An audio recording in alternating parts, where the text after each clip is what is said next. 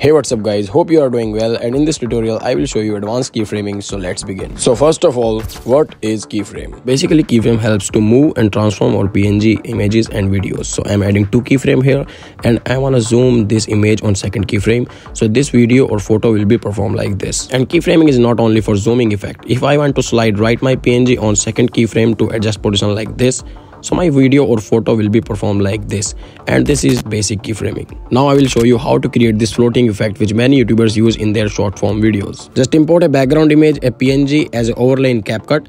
Click on overlay add two keyframes first in starting and second keyframe in the end. Now you can slide up your png a little bit on second keyframe like this. Now go to graph between keyframes and select a graph which called bounce 3 click on it and now you can see your floating effect is ready and now I will show you how you can do color adjustment in your photos and videos. Import your photo or videos in CapCut, click on adjust settings. Now you have to select any option brightness, contrast, saturation. I am adding two keyframes for saturation and decreasing it. After applying these settings, here is a quick preview how your photo and video will look like this. You can also do this with filters also. Select any filters, add keyframes and reduce the intensity of filters on keyframe. So your video and photo will perform like this.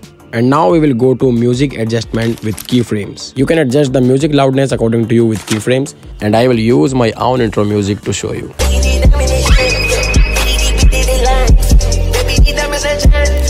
And now I will add a short clip to adjust the music. Money doesn't just buy you a better life. So I will adjust music according to keyframes and our short clip will be loud.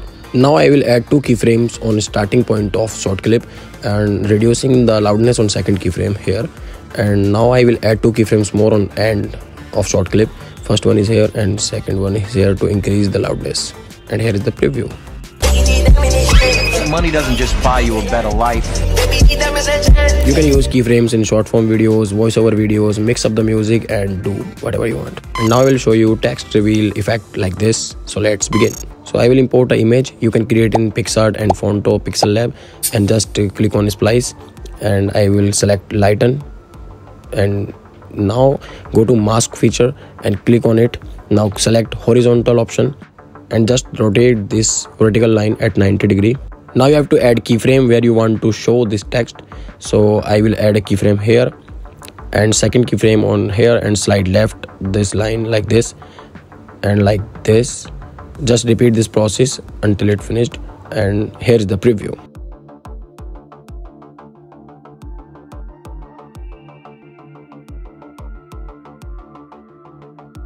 and let me show you how you can create something like this.